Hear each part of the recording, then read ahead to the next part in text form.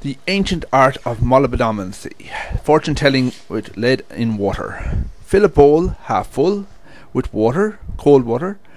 Take some metal in your hand and shake well to imbue it with your energy. Once that's done, place it into your ladle. You can use any hot plate to heat this ladle in a few minutes. It will start melting. Once it has become completely liquid, grasp the ladle firmly with both uh, hands and pour swiftly into the water. Let cool for a few minutes and then pick out the item that now should be an interesting shape.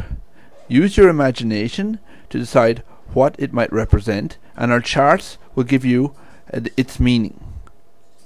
This is only a bit of fun so don't take it too seriously. Thank you. Prince August Toy Factory has uh, kits on their website to help you start.